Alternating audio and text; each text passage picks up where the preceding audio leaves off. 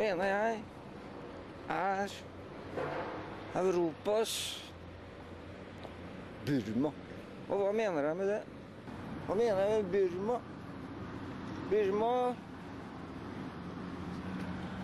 er et bra samfunn, mener de sjæl. Og hva gjør de med den svakeste? Burer dem inne. Norge gjør akkurat det samme. Burer dem inne. Plasserer dem på Utne camping. Derfor er det viktig for oss at vi ivaretar også de svake i samfunnet. Jeg ser dem hver dag. Jeg møter dem. At det er en del uslåtte mennesker som også kommer og har sitt behov. Vi må ta vare på de alle, og det er også sosialdemokratiets fortrinn. Her er det fellesskapets verdier som blir satt i fokus, framfor enkeltindividers eh, ønske om mer materielle goder. På det, det, grunnlaget ber vi da velgerne våre i Sarpsborg om å få fornya tillit, slik at vi kan gjennomføre programmet som er til det beste for innbyggerne i Sarpsborg kommune. Jeg ser fram til å stå her om fire år og kunne forsvare det vi da har levert, som jeg gjør i dag i forhold til hva vi har gjort i, den, i de tidligere fire årene. Og sammen med Senterpartiet, SV og Arbeiderpartiet så skal denne kommunen drives videre like godt som vi ser at regjeringen driver Norge. Dette er ikke en, en, en enkel frase på min side. Det er realiteter. Til slutt vil jeg oppfordre dere, dere som uh, har tenkt å kanskje nei, nå blir jeg hjemme, nå blir jeg hjemmesitter. Ikke overlat det lokaldemokratiske arenaen til de som sitter hjemme dere. Da overlater dere viktige avgjørelser i samfunnet Sarpsborg til de som ikke har noe mening. Bruk stemmeretten deres. Gå i stemmelokalet i morgen og på mandag og avgi en stemme.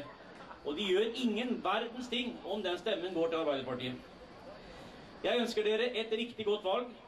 Jeg håper at mange nå kommer og deltar i valget, slik at vi nå kan i hvert fall se 60-tallet, og jeg vil helst se 70-tallet av valgdeltakelse, 70, over 70% valgdeltakelse i Sarpsborg ved dette kommunevalget. Lykke til med valget, og et riktig godt valg til dere alle. Takk for oppmerksomheten.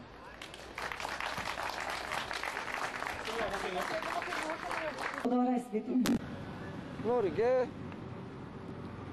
har blitt kåra til det beste landet å bo i. Tredje år på rad, bortsett fra det siste året, som har gått forbi av Island. Og hva er kriteriene for å være det beste.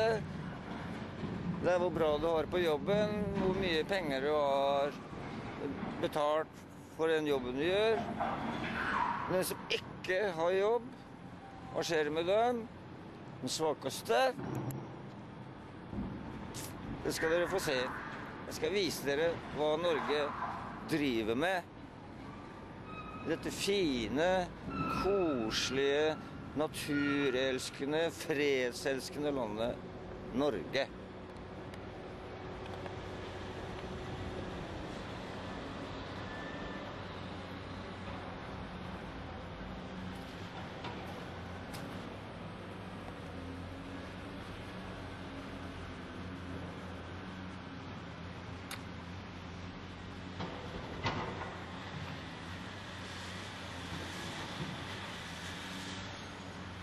Det som skjer, at politikerne mener en ting, men administrasjonen gjør noe helt annet. De gir faen.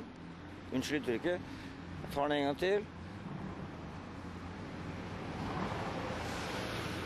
De gir blanke i hva politikerne mener. De gjør som de vil.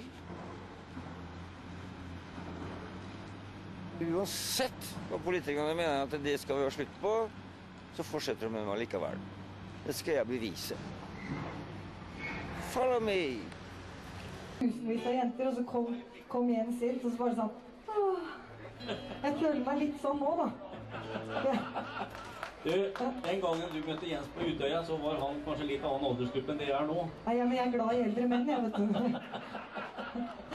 Jeg har, jeg har en sånn greie på voksne gutter. Det er bra. Men jeg, jeg syns det er litt stas å få deg på tomannsstand. Altså. Ja, ja, det Så det er like måte. Ja. Så jeg tenkte at uh, jeg har ikke noe greie på det du driver med. Nei, nei. Eh, men jeg er, jeg er en fan da, Ja, av deg. takk skal du ha. Det var hyggelig. Og så, så tenkte jeg at jeg kan prøve å ta med deg inn i det jeg driver med. Ja, ja. Ja, og så har jeg en sang som jeg syns er den viktigste sangen i hele verden. Uh, og den har vi alltid avslutta konsertene våre med gjennom de siste fem-seks åra nå. Og nå håper jeg håper jeg at dere kan være med oss eh, og stemme i her på Sarpsborg Torv. Han Jan han er sporty, han stiller opp på I natt jeg drømte. Er dere klare for det? Er du klar for det, Jan?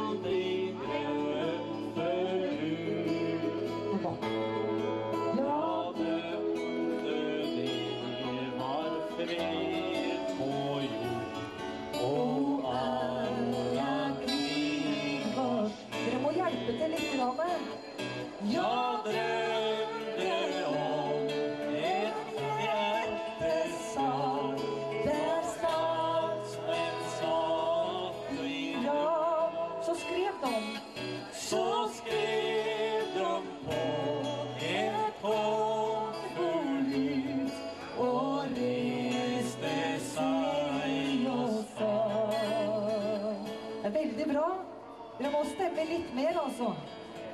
Det finns